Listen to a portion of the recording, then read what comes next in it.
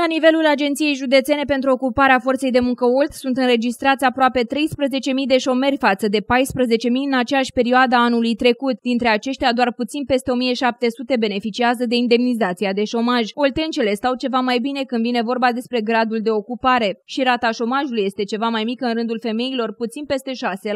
Din numărul total al șomerilor, acestea reprezintă 39%.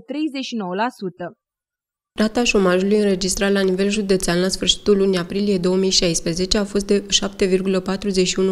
mai mică cu 0,20 puncte procentuale decât luna anterioară. Numărul total de șomeri corespunzător lunii aprilie 2016 a fost de 12.977 de persoane, din care femei 5.053. Din totalul șomerilor înregistrați de 12.977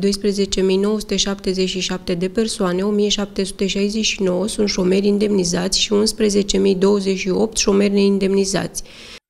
Șansele oltenilor, fără loc de muncă de a-și găsi un serviciu, sunt din ce în ce mai mici. Astăzi, spre exemplu, la nivelul AJOFM Olt erau disponibile puțin sub 340 de posturi vacante. Cele mai multe locuri de muncă, 320, erau în Slatina. În municipiul Caracal, angajatorii ofereau șapte posturi, în timp ce în Drăgănești agenții economici căutau doar patru persoane. În Corabia și Balș, astăzi nu era disponibil niciun loc de muncă. Cele mai multe locuri de muncă erau pentru confecționeri, cablaje auto, 50 și asamblor articole textile zile 65 de persoane. Absolvenții de studii superioare aveau la dispoziție doar 17 locuri de muncă.